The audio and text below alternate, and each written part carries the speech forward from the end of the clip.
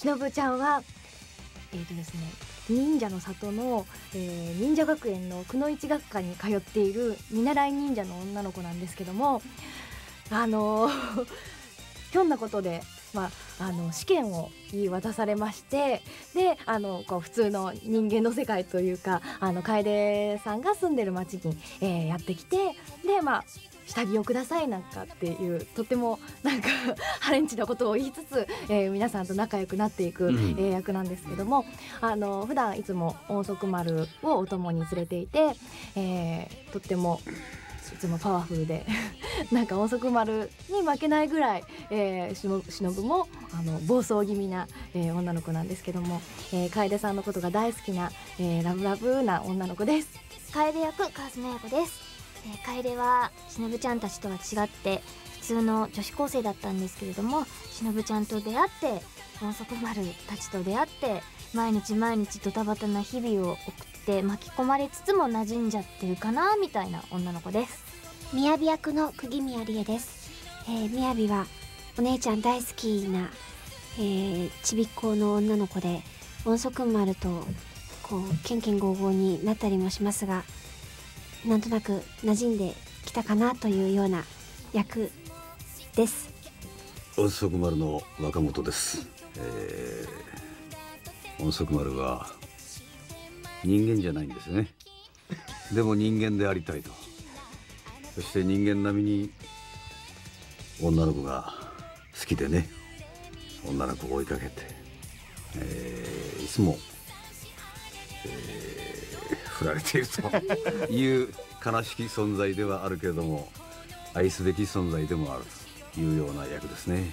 はい、えー、サスケ役をやらせてもらいました。関智和です、えー、サスケはあのえー、まあ大勢いるんですけども、えー、音速丸さんを盛り立てるために頑張りました、えー、僕の演じたサスケは一応、えー、学級委員長ということでした。はい。もう本当に面白くて、うん。毎回あの収録がもう楽しみだった作品なんですけど、うんであの毎回印象的なフレーズが 出てきて そうあの毎回言わせてもらってるんですけどあの若本さんが痛くお気に入りだったあのクルピラ野郎だって始まりあの まあいろんな野郎が出てきたね。そうですね野郎シリーズでおおよそ10個ぐらい出てきたな。もう覚えてないわ。あの別にあのドラマ CD とかの収録をしてた時もそうだったんですけど、うん。若本さんは自分がやられたアドリブをうん。もう一回やったらもう次やらないじゃないですか。そそういう主義にねはい通したんだけどね。であの自分がやられたアドリブのセリフなのに、もうすっかり忘れてらっしゃってほとんど覚えてない。う ん今日もなんかあの自分の言ったセリフなのにあの監督さんの方からこういうふうに言われてましたみたいなことがあったりだとか。とにかく言いっぱなしだからね。うん。で大体アドリブなんかもね、あのーまあ台本いただいて、まあ、読んででどうもこここが今一つあのシチュエーションとしてねしっくりこないなというとところでねどうしようかなといううん考えててどうしても出ない出ない時はねあの街で歩いてるとねあの例えば電車のあの中吊り広告なんか,、はいはいはい。なんか結構ねいい材料があるのね。ネタがね。はいはいはい、はい。うん、おこれでいこうとかね、うん、あのそういうことでね随分あの拾わせてもらったあのああのなんていうかあありがたいね。うん。中吊り広告に感謝というかね。要するに週刊誌のほら見出しあるじゃん。ね、うん、本当に毎回毎回もうここまでハイテンションなアニメはないんじゃないかっていうぐらいで、疲れた？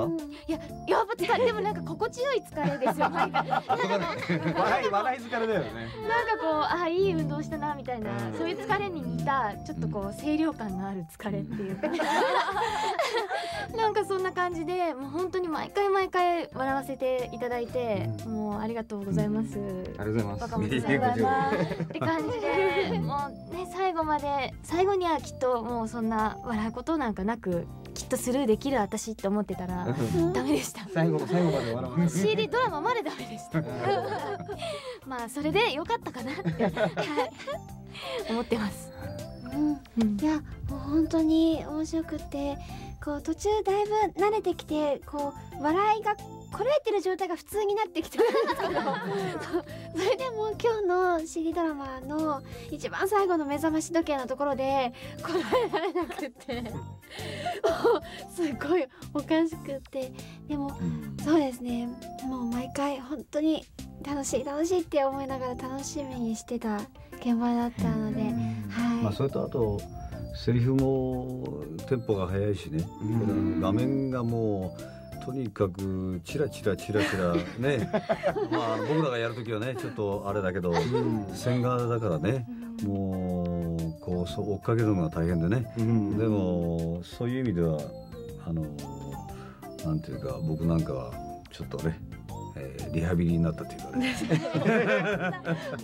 反応のねうん試されてるっていうかね。